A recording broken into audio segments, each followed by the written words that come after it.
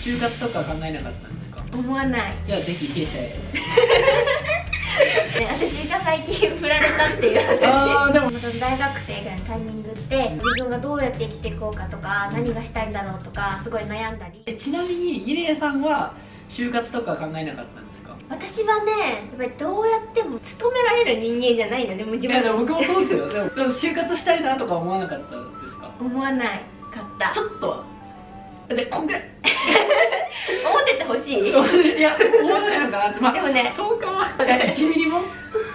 うんなんか本当にイメージなくて、うん。でもね自分が高校卒業して大学生になったタイミングで、うん。すぐに2社目を立ち上げるとは思ってなかったのよもともと。で何も決めてなかったのそれこそ、うん。自分のルートについて。だけど知らぬ間に2社目立ち上がってたんだよね かもっとちっちゃい時私ディズニーのキャストさんになりたいと思ってた時があるの。それってある意味さ就活しないとじゃない？そう。でも現実的ではなかったよね結局。ふわっと思ってるけど実際にやろうと思ってさ私ってやろうと思ったらすぐ行動するタイプじゃん、うん今の話的に。だけどそこに対してはなんか全然行動してないから、うん。なんかあんまり関心が本当はないのかもねしれないね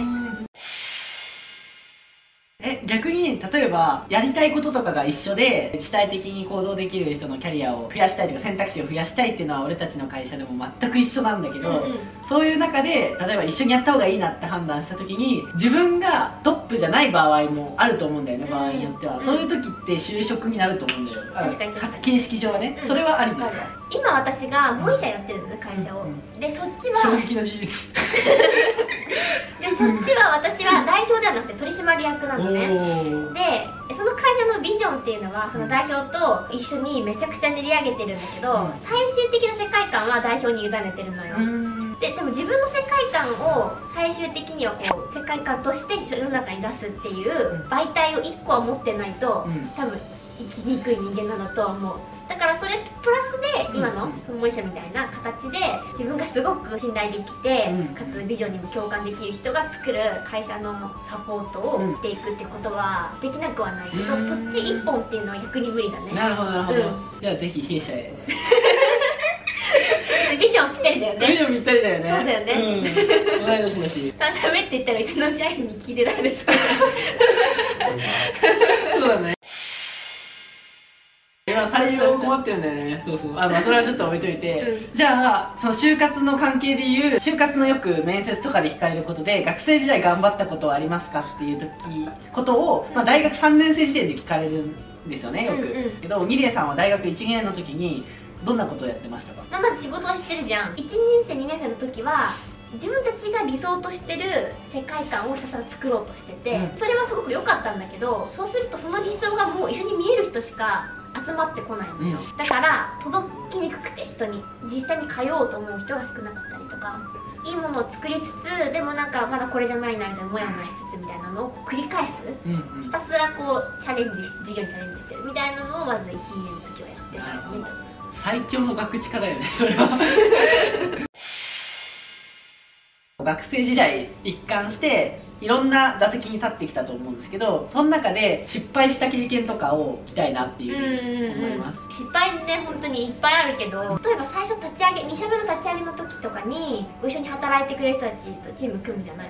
でもそこでなんだろう私がやりたい世界観と他のメンバーが求めてる世界観がこう合わなかったりとかしてチームとして結局一緒にはそのまま仕事ができなかったっていうこととかもあっていや。チーム分分離だよね。あるあるだよね。今もその人として仕事をするかどうかは別として、うん。もっとコミュニケーションスタンスも私のねうん。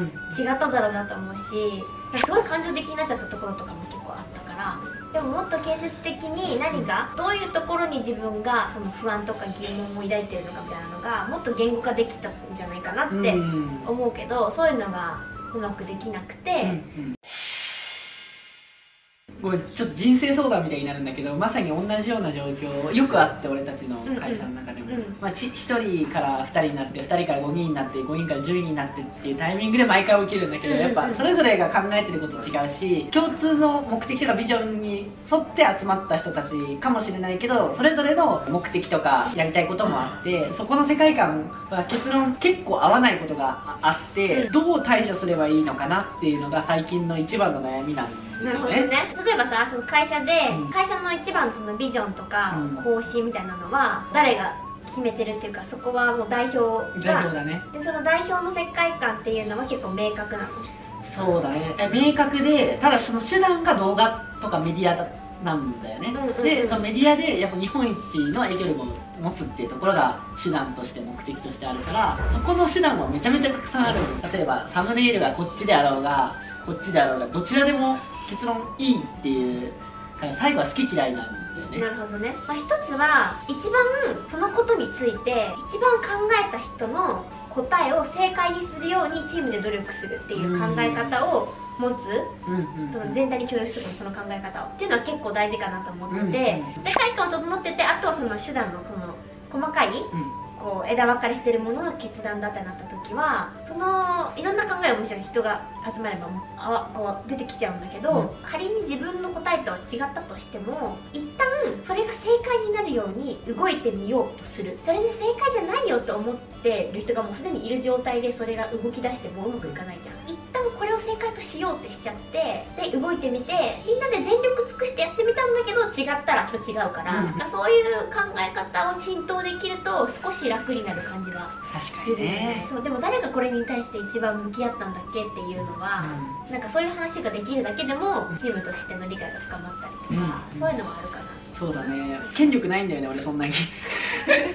権力ないというかまあフラットだからうん。ちゃんとフラットになるからこそ議論がずっとあるっていうのはあーでもでもそれで一個思うのは、うん。えっと年齢とか、うん。そういうのは関係なく議論としてはみんな対等にするっていうのは、うんの上でのフラットは大事なんだけど、会社としてその考えた時に代表が全ての目線でフラットではやっぱりダメだとうんうん。思ってて、決断するタイミングでは仮にそこに反対の人がいても代表が基本的に会社のことは一番考えてるからさ、うん最終的に一番考えてる人って代表なのよ。うんうん。うんそこを信じてくれっていうことを強く言えるかどうかっていうのは結構いや変わるよね。俺に今一番足りないところだそれは。そうだよね。え最初からそういうのはできてた？いやきてはないと思う、うん。まあそれこそその分離しちゃった時とかっていうのは、うん。自分がそういうスタンスになりきれてなくて、なるほど。だからみんなとこう尊重しようかな尊重しよう尊重しようとしても私の世界観がさ反映されないければ私生きていけないじゃん多分、うん。それがなくなっちゃったからそれはちょっと厳しいなと思ってて、うん。法人って人格が必要だと思うのね、うんうん。法人が人格があれば他の人たちが参加する時もここにいる時はこの人格ここにいる時はこの人格っていう風に自分の中でも別の人格で生きれる。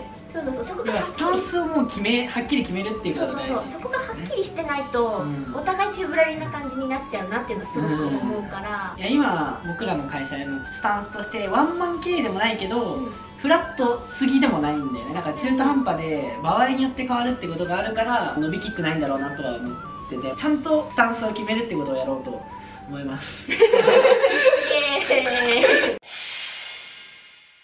なんか失敗してでそこからなんかこういう風に乗り越えてこういうことを学んだみたいなのがあったら教えてほしいです。で私が最近振られたっていう自分が仕事に集中しすぎてコミュニケーションが取れてなかったっていうこともあるし、ん。例えばこう関係性2人で関係性を作っていくのも組織で関係性を作っていくのもみんな同じだと思うんだけど、うん。独自の世界観があるじゃん、うん。世の中の常識の声ばっかり聞くのもダメだし、うん。とはいえ幻想ばっかり追っててもうん。ダメじゃん。そこのバランスが必要だなってすごい思ってて、うん。私がそのバランスを失ったんだなってすごくえ思ー、って。え具体的には？例えば極端にコミュニケーションを取らなくても信頼できてるから大丈夫とか思っちゃうとかね。でもさあまりにもなかったんだよね私からのそれが好きではあったの？私、うん。めっちゃ好きめっちゃ今。も好きあそうなんだ。そう。だからでもそれはじゃあそういうスタイルなんだね。自分の中のルールと相手とかのルールが若干違ってたんだね。そ結論振られたというか、まあ、別れたんだよね。ううんうんうん。それを要素分解すると自分の中のルールと相手のルールが全然違くて、うん。でただ結論合う合わない就活と一緒だなと思ってて、うん。自分の中でコントロールできるものとできないものがやっぱり世の中には存在してやれるだけのことをやってダメだったらもう仕方ないなっていうふうに思うようになりました、なるほどね。私やれるだけのことまだやってないかからまだ諦められてない。あ今からじゃあ修復出する。出できないかなって全然諦められてえー、でもそれ辛くない？しょうがないよねこればっかりは。その切り替えられるんだ。その仕事を集中したするときはして、うん。その別れた時のその未練に関しては、まあまあ、未練のタイプは未練のタイプっていう感じで分けられるんだ。でもなんかそれはなんか分けられるようになった気がする。やっぱ会社うまくいくのと恋愛うまくいくのいくのは全然違うから全ね然違うから、うん。マジで。コンねトロールできないからね。すごい学ぶよねやっぱりさ、うん。会社での関係性でもそうだしそういう他のプライベートでの関係性でも、う何かが起きると自分のことを振り返れて、うん。なんか仕事にも生かされるなってすごい思うじゃあ今見ている大学生とか、まあ、就活生が多いんだけどミレイさんが、まあ、同世代の難しいんですけどメッセージ的な思うこととかがあったら教えていただきたいです、また大学生ぐらいのタイミングって、うん。自分がどうやって生きていこうかとか、うん。何がしたいんだろうとかすごい悩んだり、あと周りに何将来の夢だとかめっちゃ聞かれたりとかして、同世代に例えばこういうことしてる人間がいたら、焦りを感じたりとかうん。したりもすると思うし、そういう中で自分が今何者なのかとか自分が何したいのかとかを完璧に言語化できてる必要とか全くないし、あとやりたいっていう気持ちが芽生えてなきゃいけないっていうのも全然真実ではなくて。うん。大事なことは生きてるから自分たちは。で時間はどんどんこうやって刻まれていくじゃない、その中で自分のより良い人生にたどり着くためには自分について多角的に知っていくっていうことはすごく大事だと思ってね自分のことを知る方法っていうのはやっぱり何か行動をしてみてあこれめっちゃ向いてたなとかうん。これもう二度とやりたくないわとかそういう感覚を体感することがすごく大事だと思うのでだから自分がこれやりたいからやってみようじゃなくてもこれって何なんだろうか分かんないからとりあえずやってみるわみたいなのでもう全然よくてやってみたら意外と向いてたとか、うん。どう考えてもこれ私の仕事じゃないわみたいなものがこうどんどんクリアになってきて自分の苦手なものを排除できるようになった好きかどうかは分かんないけどこれだったら人の役に立てるかもみたいなものが見出せたりうん。燃え上がるような情熱みたいなのがうん。感じられなくても自分の傾向みたいなのをつかめるだけで全然生きやすくなるから、そういうのを学ぶための姿勢っていうのはやっぱり大事にしてほしいなってすごい思います。体験ベースで何かを感じることっていうことと、うんうんやりたいこととかその成し遂げたいことが見つかってなくても、まあ、とにかく目の前のことをにチャレンジしてみるっていう姿勢が大事なんだなっていうのに今日お話しして思いました。結構長い間あのお話聞いたんですけども、追いつけるように頑張って引き続きあと相談もさせていただきたいなっていう、えね。友達になれたよね。うん確かに。すごい嬉しい。いや俺も嬉しい、うん。ミレイさんの Twitter とか下に SNS を貼っておくのでよかったらフォローお願いします。ということでありがとうございました。ありがとうございました